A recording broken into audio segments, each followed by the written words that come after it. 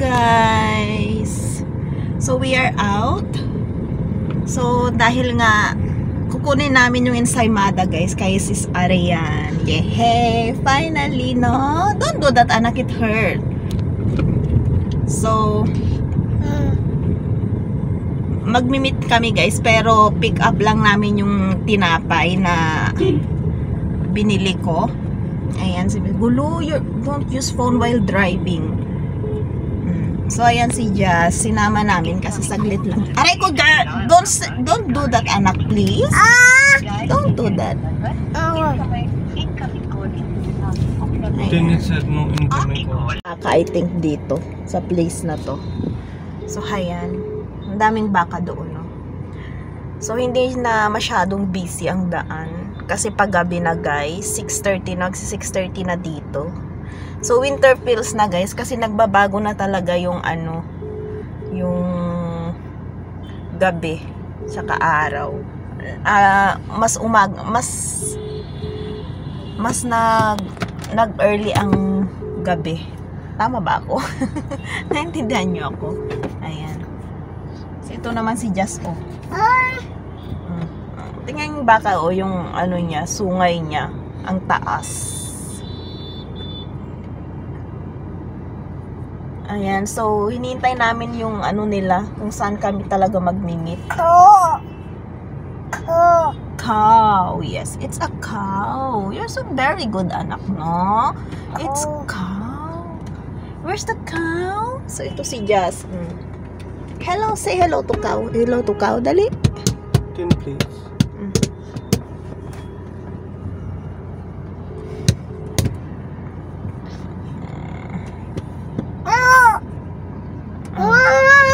Stop it now. Then can you we are supposed to then you अच्छा अच्छा ठीक है ठीक है Ito naman si Jazz, cow na. ठीक है मैं फिर आप लगा लो नेक्स्ट टू नेक्स्ट पाँच मिनट से भी कम टाइम में पहुंच जाऊंगा आपके पास हाँ हाँ कोई इशू नहीं ठीक Aray ko, anak, don't do that, please. It hurt, mama. Your head's so uh, hard. Mm. Say hi to guys then. Beautiful eyes. Ay, ay. Asim kilig naman yan eh. Ayusin mo yung beautiful eyes mo. How about flying kiss? Flying kiss. Atcha, okay. Sweet baby. Okay, so may mga nag, may nagbibigay ng food sa mga cow. Huh? Why she didn't open it? So, inata, in, ano yan, i- inano na siya ng cow, kaya hindi niya na nabuksan yung ano pagkain sana na ibibigay niya. So, nilapitan na siya ng mga baka. So, sinabit na lang niya dun. So, paano kakainin ng baka yan ngayon?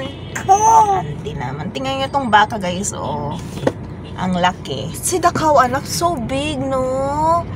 Mm, there are many big cows. Ha, there are many big. Naaliw si Jess sa baka. Ang dami kasi.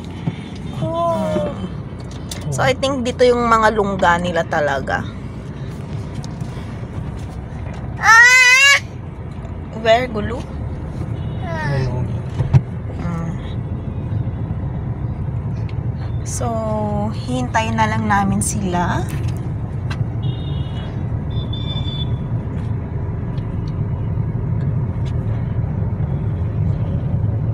Gulo. Like that. Is it, is there festival? So, may mga lights-lights at daan, guys. So, dito na kami mag-stop. Why? Ah, Ah, so that we easy can see. Ah!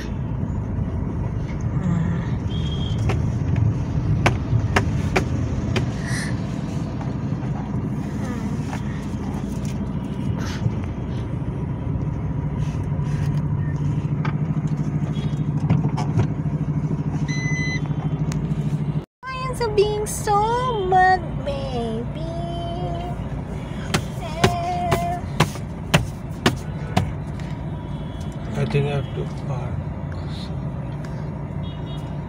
Ah! Mm. Don't do that nga, masyaki. But baby ka talaga. So, andun si Kuya Gorab. Kuya. Yes, I think he's elder than us. So, Kuya. then can you come? So, ayan na siya.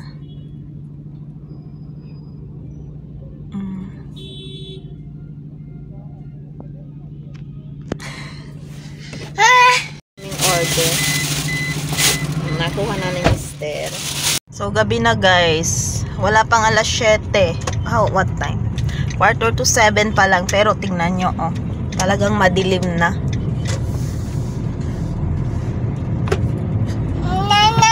Ang ganda ng lights nila, oh. Indian flag. Kaya wag. We're going home na anak. Ike? Nanan. Nanan. Kaya nanan. Ayan.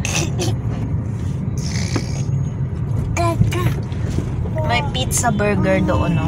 Street, ano.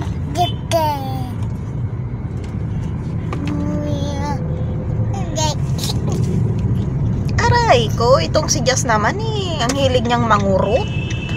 Sakit pa naman ang kurot niya. Aray! Don't do that, anak, please.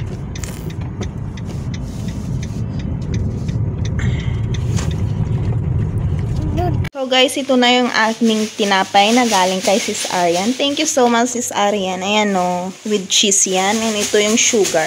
So ensaymada yan guys. Nagustuhan ni Jess. Kinain na namin yung isa. Jess! Oh, Jess! Do you like it?